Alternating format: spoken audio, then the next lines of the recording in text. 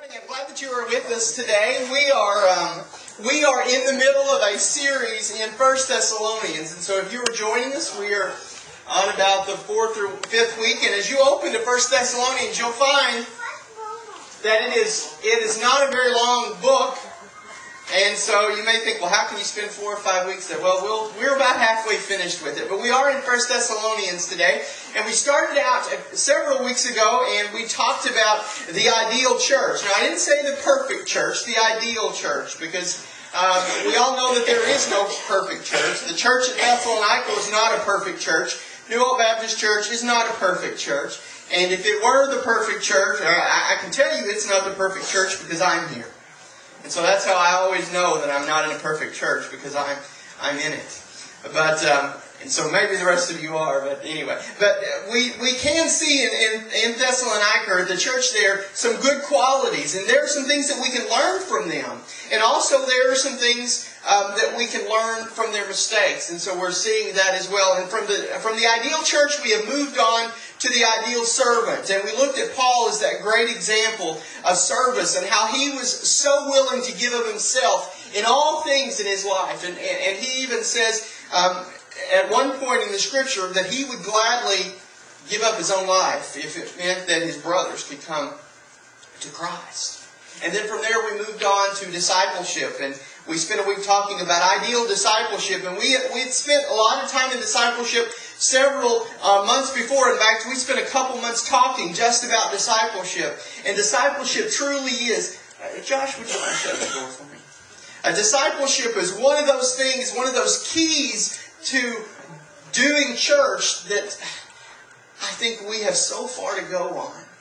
You know, we talked about you at discipleship and how God is calling us to come alongside those who are not as mature in their in their walk with Christ as we are. And that's not to say that any of us have reached a point. But if you have been saved for one year, then you should be further along in your walk as a believer than someone who's been saved for six months and hopefully you have something you can share with them. And I, we talked that week about how important it is for us to come alongside new believers. And I even challenged you that week. I, I said, you know what? There are believers in here who have been believers for 5, 10, 15, 20, 30, 40, 50 years or more. Some of you have, can, can say that you've been a believer. And I challenge you, I said, come alongside one of our youth or come alongside one of our children. We have three or four children who we've baptized in the last six or eight months or a year. We have three or four youth that we've baptized within the last year. And I challenge you, I say, come alongside one of them and, and, and, help to disciple them. Help them to learn about the foundations of their faith. I even showed you some materials. Like this survival kit or like this I'm a Christian now. Because some of you say, well, I just don't know how to do that. I don't know how to disciple someone. Well, these are great resources. You don't have to go into it blindly. You don't have to do it all on your own because we have resources like that. But I have to say that after that challenge, I've not had, to my knowledge, maybe maybe I'm wrong. Maybe someone has come alongside one of our youth or one of our children. But no one's asked me for those resources. And church, I challenge you, we've got to do this. If we're really serious about making sure that the generations that follow us have a foundation in the faith and they know why they believe what they say they believe, then we have to help them to discover that. In church, uh, so often we want to say, well, that's going to happen in Sunday school. And we have great Sunday school teachers, but they have anywhere from two or three or four in class to, to 10 or 12 in class. And we have great people who are working with our children and our youth on Wednesday nights. But they, again, they have anywhere from two or three or four or five to 15 or 20. Church, I can tell you that as when our children, and especially when our youth, when they start slipping away and we start to say, well, I wonder where so and so is at. I wonder where she's at, or I wonder where he's at now. We haven't seen him in several weeks. Church, we can't blame you can't blame that on the pastor. You can't blame that on their Sunday school teacher. You can't blame that on their Wednesday night teacher. It's up to you. You have a responsibility in coming alongside these new believers. So how do I do that? Well, ladies, maybe you want to call, pick one of these girls and say, hey, what are you doing next Saturday morning? Come over and help me make some cookies for the hayride. And while those cookies are baking, you take some resources or you sit down with them and you share with them about your faith and you build a relationship with them. Guys, maybe you want to pick one of them up and take them fishing. But building a relationship, it's not a one-time encounter. It's a commitment. And it can be dirty. It can be messy. Because sometimes these new believers, they don't know anything. But it's what we're called to do. Discipleship is so important. And it's a step that we're skipping. We're leaving out an important facet of that. And then last week we went on and we started talking about a walk, the ideal walk. And I said there are some characteristics of walking. First of all, you got to be alive. You got to be growing. You got to be progressing. And we talked about that. And eventually we got to the last part where I, we began to talk about the type of walk that God is calling us to. And we were there in 1 Thessalonians chapter 4. And in those first eight verses, we were actually talking about walking in holiness. And Paul was specifically talking about a life of sexual purity. And I'll tell you, that was a tough lesson. And, and I had several of you mention last week, oh, that was good, Pastor. I'm glad you did that. And, and some of you even said the youth need to hear that. But, church, that's not just for our youth. That's not just for our youth. Sexual sin can destroy a church. I can tell you, I've been in a church where it's happened. It can destroy a church. Yes, it's important for our, our youth and our children to know that fornication is not okay. But it's not okay for adults, and neither is adultery. We have to be very careful. Well, today we're going to be continuing that. And, and like I said, last week we were talking about a walk of holiness. Well, this week we're going to continue that, and we're going to be talking about a walk of love and about a walk of honesty. And so this morning we're going to still be in 1 Thessalonians chapter 4. We're just going to continue on with the next few verses there. And when we were talking about a walk of holiness, really that walk specifically affects the family. Because when we're talking about sexual sin, that can certainly destroy a church depending on whose sexual sin it is. Unfortunately, in the case I mentioned, it was the sexual sin of a pastor. And I'll tell you, it happened eight years ago. And that church today is still suffering from the effects of that. But I'll tell you, it, it may not, if it's if it's the sexual sin of a member of the body, it will have an effect, but it may not have as traumatic effect. But I tell you, I can tell you exactly where it will have devastating effects, and that's in the home. Because it always has it always has traumatic effects in the home. Well, today as we talk about a walk of holiness, we're going to talk about that in relation to the church. And as we talk about a walk of honesty, we're going to talk about that in our everyday walk outside of the church and even in our own in our jobs. So I've asked you this morning to open to 1 Thessalonians chapter 4, and I want you to look with me at verses 9 and 10 as we get started this morning. It says in verse 9, about brotherly love. You don't need to me you don't need me to write you because you yourselves are taught by God to love one another. In fact, you are doing this toward all of your brothers in the entire region of Macedonia. But we encourage you, brothers, to do so even more. Let's pray. Dear Father, as we open your word this morning, I, I ask that you would speak to my heart first and foremost. That I would have clarity this morning as I try to as I try to present the message that you've given to me, Father, I, I ask that you would speak directly to my heart. And as we are opening your word, that you would speak to the hearts and to the minds of each of those who are sitting here today, regardless of age. and Father, you would just reveal that nugget of truth, that kernel of life that you want us to apply to our own walks tomorrow. Father, I just ask this in your name. Amen. So as we see here, starting in verse 9, Paul, he's, he's talking to the, in his letter to the church at Thessalonica, and he's, he's saying to them, I don't have to talk to you a lot about this, because this is something that you are doing okay at. You're already doing it. You know what God says about brotherly love. He was exhorting them in this because they were a church that was known for, uh, for this particular thing, for brotherly love. Now, I do have, this morning, I, I, hope that you have your notebooks with you. And, you know, last week I, I, put a thank you note in the bulletin. I, I so appreciate my family so appreciates uh, your generosity to us. And, and this month, I, I, it's Pastor Appreciation Month, and, and your gift last week was, was so generous to us, and we appreciate that. But I said this last week, and one of the things that encourages me more than anything, and Brent, hold your notebook up. I tell you what, is more than the gift that you gave me. That is an encouragement to me. I know there are others. I know Miss Jeannie. I see her taking notes, and I see several of you. But I you, that is such an encouragement to me. Because what? Because this is not just for me; it's for you. And how can you take this and distribute it to those around you? If you're like me, you can't remember a lot of what went on yesterday. And so taking notes allows you to, to be able to remember, and especially this week, because we're going to be looking at a lot of scripture this week, and if you don't have something to write it down on, you're going to miss some of it. And so I encourage you to get your bulletin out or, or get something so that you can write some scripture down and refer back to it.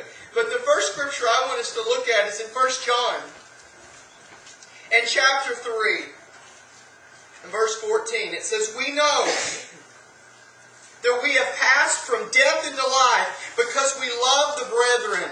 He that loveth not his brother abideth in death. So brotherly love is so important. We see that throughout the scripture. The proof that you are saved is in how you love your fellow Christians. That's the proof. You can tell a lot about a person by the type of company that they keep. You know, it always it always baffles me how someone can say, well, I'm growing, I have a, I'm saved. I, I read my Bible, I'm growing in my relationship with Christ, and you ask them, well, do you go to church anywhere? No, I can watch it on TV. Church, it's hard to, I, I just don't see how you can do that. Developing relationship with like-minded believers is such an important part of developing and growing your relationship with Christ. Now, that's not to say that we shouldn't have relationships with people who are not believers, and we absolutely should. Probably we should have more of them. And I'll, I'll be honest with you, that's, that's something that's difficult for some of us to do, including myself. Here I am Sunday morning, and all, most of you would claim to be believers. When I go to school tomorrow, now there's a lot of students who are, who are as lost as gooses, but every single person that I sit in the lounge with has a professing relationship with Jesus Christ. It can be difficult to form relationships with people who aren't believers. But it's important that we do have relationships with believers. It's so important. It's important to walk in love. They should know you by the way you walk, by those you love. In 1 Peter, another scripture I want us to look at. In 1 Peter, that's uh, just flip to your right just a little bit. 1 Peter chapter 1. And in verse 22. 1 Peter chapter 1 verse 22 says, By obedience to the truth, having purified yourself for service, I'm sorry, uh, by obedience to the truth, having purified yourself for sincere love of the brothers, love one another earnestly from a pure heart. Love one another earnestly from a pure heart. On over to 1 John again. First 1 John chapter 4, verses 11 and verse 12 says, Dear friends, if God loved us in this way, we must also love one another. No one has ever seen God, and if we love one another, God remains in us, and His love is perfected in us. Love is so important. You don't have to read very many pages in Scripture before you see this theme of love that glares through. And so this walk of love is so important. Because you know what? The world will look at us as Christians and they see so much of what we believe and so much of how we uh, how, how we behave and they, they kind of look at that as foolishness. When we preach sin, the world looks at us and says, well, that's, you're just being narrow minded. You're being old fashioned. When we preach prophecy, people will say, well, you're just a dreamer. When we preach separation, the world says, ah, you're just being fanatical. When we preach tithing, the world will look at us and say, oh, that's just a, a money hungry preacher or that's just a money hungry church. But there is one coin that is always taken at face value, one quality that is undeniable, it is unmistakable, and that quality is brotherly love. They will know you as Christians by your love. There is one, one thing. Now, love is one reason that fighting within the church is so damaging. You know, fighting in the church can literally destroy the church. Battling egos within a church are more paralyzing to the church than the most outspoken atheist in the community. Battling egos in the church are far more devastating than the, than the, the most paralyzing, uh, the, than the great, biggest drug dealers or the biggest alcoholics. Egos in the church are more devastating than anything that the world can throw at us. Personal agendas in the church literally destroy the body. We must check our egos at the door when we come in. It cannot be about our personal agendas. Otherwise, the world will look at us and they'll say there's no difference than those people in New Hope Baptist Church and there is around the world around us. They're all about getting what they want. And that becomes then a viable excuse that they can have for not believing. Turn with me, if you would, to 1 Corinthians. 1 Corinthians chapter 3. 1 Corinthians chapter 3. I'll give you just a moment to get there.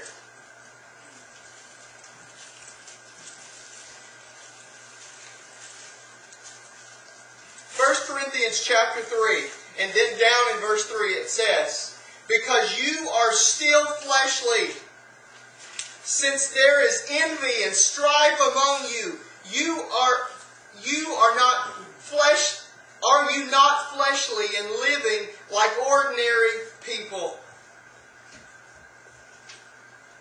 When we when the church acts just like the world, then we cease to be a church. A true church is built on the bricks of brotherly love. You may ask yourself, well, how do I know? Well, think about it. Are, are these things that might be used to, to describe you in your dealings with the congregation? Would people say that you cause discord? Or could you describe yourself or would others describe you as being jealous or selfish or envious or easy to anger or that you quarrel? You know, sometimes we like to just make excuses for these things and we like to say, oh, so and so can't help it. That's just the way they are their mom or their dad was like that. They can't help that. That's just the way they are. Church, you know what? The, we may try to call them personality traits, but the Bible is not that charitable. The Bible calls these things sin. And we have to be very, very, very careful. In Galatians chapter 5, verse 19 through 21, it has this to say. Now the works of the now the works of the flesh are obvious. Sexual immorality, moral impurity, promiscuity, promiscuity, idolatry, sorcery, hatred, strife, jealousy, outbursts of anger, selfish ambitions, dissensions, fractions, envy, drunkenness, carousing, and anything similar about which I tell you in advance, as I told you before, that those who practice such things will not inherit the kingdom of God. Church, we cannot allow these things to happen because they will destroy our church. And what this allows us to do, when we focus on this, then it takes our focus off the world. And when we allow that to happen, is having victory in our church. Because we're not able to focus on the world around us because we're more focused on making sure that things happen the way I want them to. Making sure that things happen the way that we've always done them. Making sure that things happen the way we're comfortable doing it. Church, if the way we're doing it was working, this church would be filled to capacity today.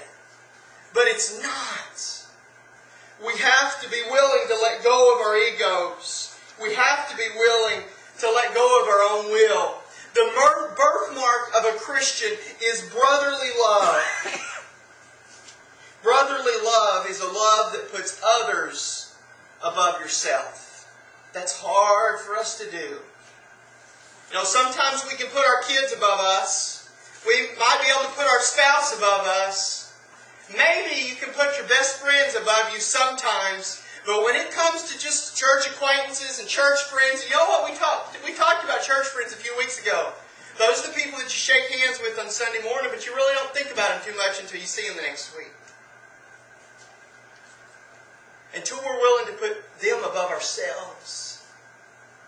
That's brotherly love, being willing to put others first. See, God is a God of restraint. He's not a God of vengeance. It's not my job to get even or to teach somebody a lesson. The graduate level of Christianity teaches us to bless those who curse us, to love those who hate us, to pray for those who would use us, to do good to those who do evil to us. I would challenge you to do this. I would challenge you to think about your own prayer list, to think about your own prayer list, those things that you pray for on a daily basis. I would, I would ask you this, because this is something I have to do for myself, and this has changed my prayer life in a lot of ways. If you were to look at my prayer list today, some of those people that cause me the most strife are at the top of my prayer list. I don't neglect to pray for them. I pray for them first.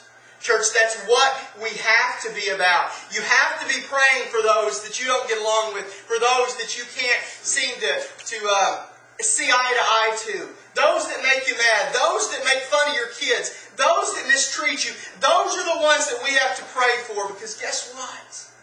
God has to change something. He's either got to change them or He's got to change you or you're not ever going to reach them for Christ.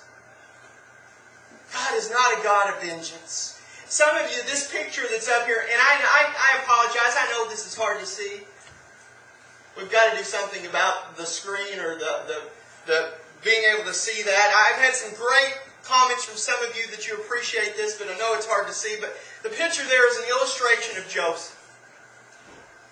And if you remember Joseph's story, man, if anyone had the right to seek vengeance, it was Joseph.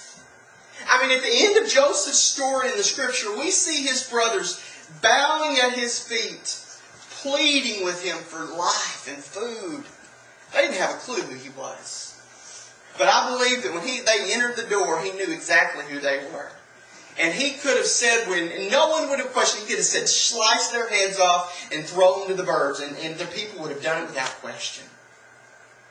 They didn't know who he was. But when he saw them, I'm sure those things went through his mind. The beatings that they, the tauntings that they gave him, the time when they beat him up and they threw him in that hole. I'm sure he was thinking about the time when they sold him into slavery. I'm sure that when he saw his brothers, he began to think about those years he was a slave and those years he, he spent in prison. Sure, his life at that point was a good life in in the world's eyes.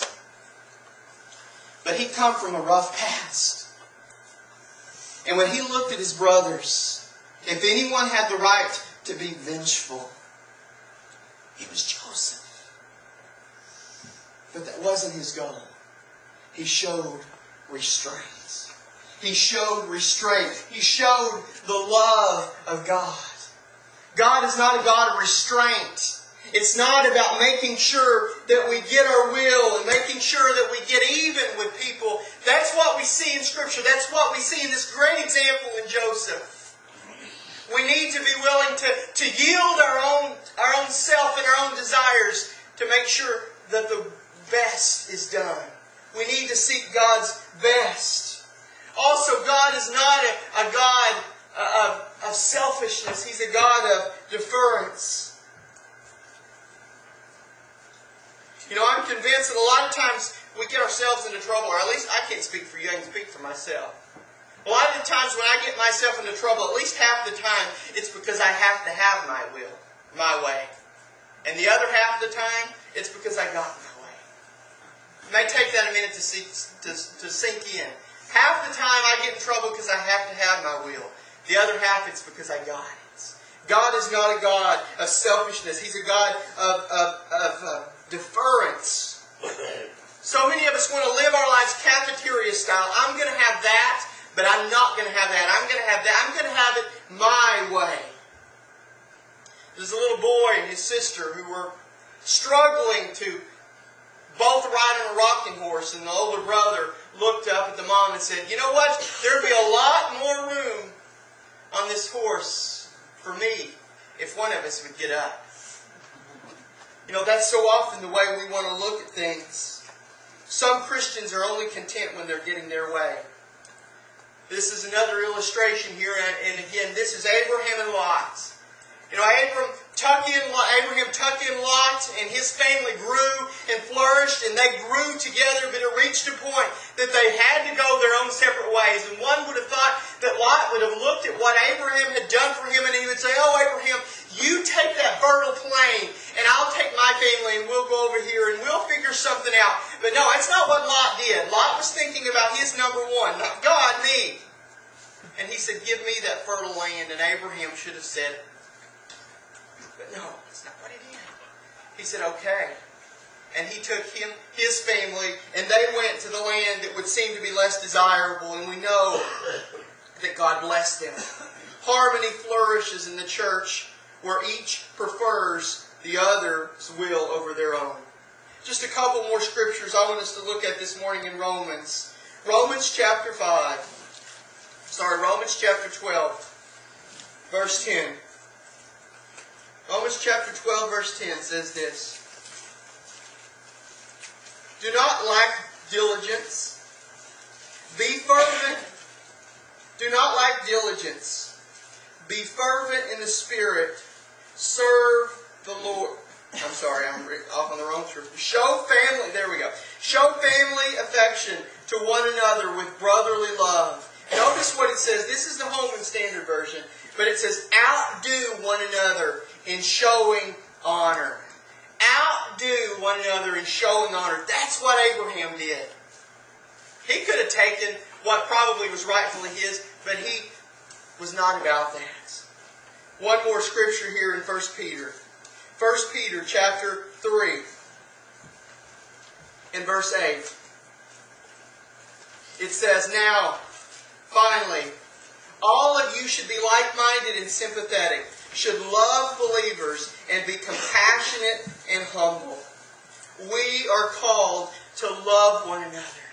We are called to be to express brotherly love. That's hard for us to do. To express that love that puts someone else above ourselves.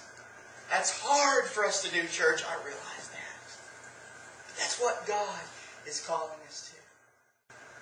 Now, as I'm looking at my notes, I have made it about halfway through, so I'm actually going to stop here. We're going to finish this tonight. So I would ask you tonight, I would encourage you to come back because tonight we're going to continue this and we're going to talk about a, a walk of honesty because that's so important. Because as we walk out in this world, as we go outside these doors, there are people who are looking at you and they want to know is that person going to be different? Is that person going to be different in the way they deal with others? Is that person going to act different in business or are they going to act just like everyone else? There's a world that's watching. God is calling us to a walk that will draw us closer to Him. He's calling us to a walk of holiness, one that, of purity, and as we saw this morning, God is calling us to a walk where we, of brotherly love, where we put others above ourselves. As challenging as that is, it's what God is calling us to. Let's stand this morning. And the invitation is this. As we went through that list of characteristics, I want you to think about your own self. Don't think about anyone else because it's easy for us to judge someone else, isn't it? It's easy for us to say, well, I hope so and so was listening to what Pastor Heath was saying. I wasn't talking to them, I was talking to you. Could you be accused of being selfish? Could you be accused of, make, of wanting your own will? Or... That's what I want you to think about this morning. And if God has spoken to you, maybe you want to do business right there where you're at, but maybe you want to bite pride and just walk them down here to this altar and do business with God here. Maybe God is calling you to something else. Maybe God has spoken to you about your relationship with Him. Maybe you've realized this morning that you don't have a personal relationship with Him. Maybe today is your day of salvation. If that's you, I would love for you to come. I'd love to share with you how you can find Christ as your personal Lord and Savior.